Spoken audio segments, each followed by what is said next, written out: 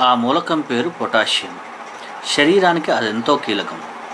మోతాదు పెరిగినా తగ్గినా ఇబ్బందులు తప్పవు. నాడీ వ్యవస్థ గతి తప్పుతుంది. ఇది లేకుంటే పైరు పచ్చగా పెరగదు.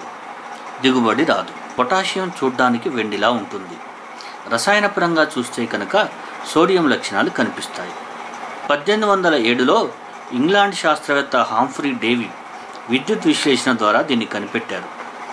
మొక్కల కణజాలాల్లో పొటాషియం ఎక్కువగా ఉంటుందని తెలుసుకున్నారు. వాటి నుంచి పొటాషియాన్ని గుర్తించి వేరు చేశారు. అందుకే పొటాష్ అంటే మొక్కల బూడిద నుంచే ఈ లోహానికి పొటాషియం అనే పేరు వచ్చింది. ఈ లోహం సహజంగా దొరకదు. కొండల్లో గుట్టల్లో పొరలు పొరలుగా లభిస్తుంది.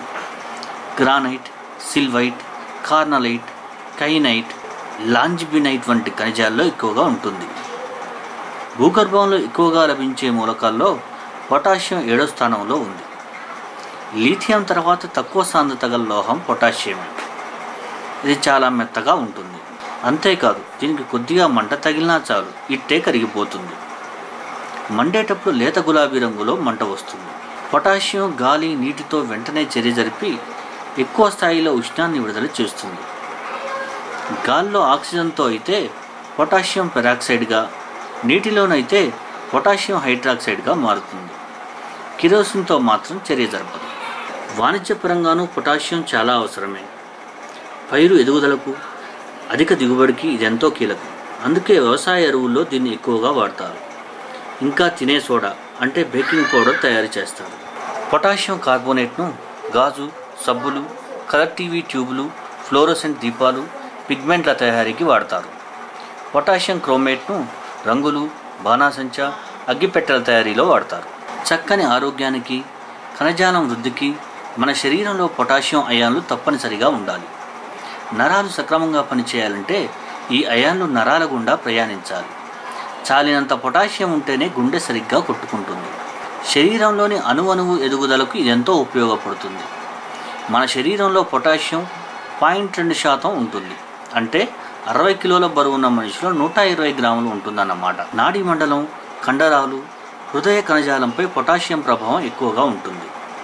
హార్మోన్ల విడుదలను పనితీరును నియంత్రిస్తుంది.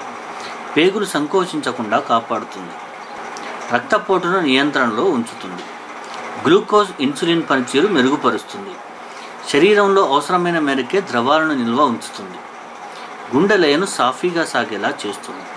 ప్రతి ఒక్కరూ రోజుకు నాలుగు వేల ఏడు వందల మిల్లీగ్రాముల పొటాషియం తీసుకోవాలని నిపుణులు చెబుతున్నారు. పొటాషియాన్ని మందు బిళ్ళల రూపంలో కన్నా సహజంగా తీసుకుంటేనే ఎక్కువ లాభం ఉంటుంది. ఇది దుంపల్లో దండిగా ఉంటుంది. పచ్చి కూరగాయలు ఆకుకూరలు పండ్లు చాలా రకాల ఆహార పదార్థాల్లోనూ దొరుకుతుంది. దుంపలు అప్రికాట్ పాలు చాక్లెట్ పిస్తా బాదం బంగాళదుంపలు చిలగడ దుంప అరటి పండ్లు అవకాడో కొబ్బరి నీరు సోయాబీన్స్ టమాటా పచ్చడి నారింజ చిక్కుడు గింజలు బ్రకోలీ చేపలు మాంసంలో పుష్కలంగా లభిస్తుంది.